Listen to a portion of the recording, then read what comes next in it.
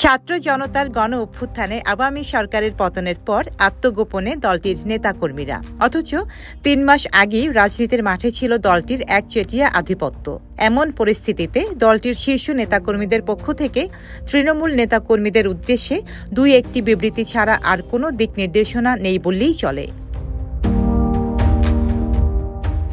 রাজনীতির মাঠ দাপিয়ে বেড়ানো আওয়ামী লীগের এই বেহাল অবস্থায় শীর্ষস্থানীয় নেতাদের ওপর ক্ষোভ বাড়ছে তৃণমূলে। তারই ধারাবাহিকতায় তৃণমূল আওয়ামী লীগ নেতাকর্মীদের কাছে ক্ষমা চাওয়ার আহ্বান জানিয়ে নিজের ভেরিফাইড ফেসবুক পেজে একটি পোস্ট করেন ছাত্রলীগের সাবেক সাধারণ সম্পাদক সিদ্দিকী নাজমুল আলম।